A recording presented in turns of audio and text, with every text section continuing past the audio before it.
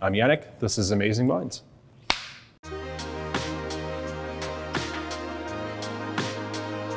Security's gone through an evolution of automation. Developers were faced and interfaced with the business, and the business said, well, I want to take product features to market faster. So as developers moved very quickly to develop all these features, they would huddle over these untested, unproven applications to operations, and operations would say, well, wait a minute, this application is not fit for purpose. And this is where DevOps came together. So developers working with operations to solve business outcome but also moving at the speed that the business needs to take advantage of market opportunity.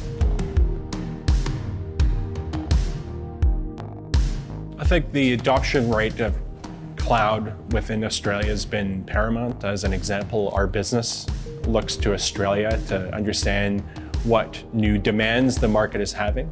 Australia has got an increased focus on adopting cloud uh, for their businesses to make them successful.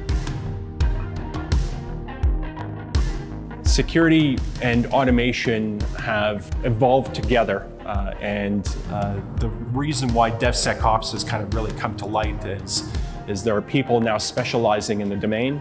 Uh, yes, it is a buzzword, uh, but certainly it is a focus now uh, in terms of automation for a lot of organizations. What DevSecOps really brings to the table is over time, you can test for that assurance that that product, that technology that you release is ultimately secure.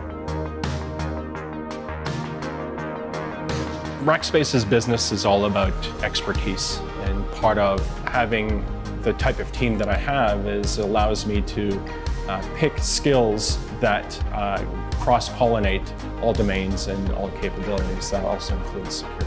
There's a lot of demand around security engineers that understand both the security domain and automation.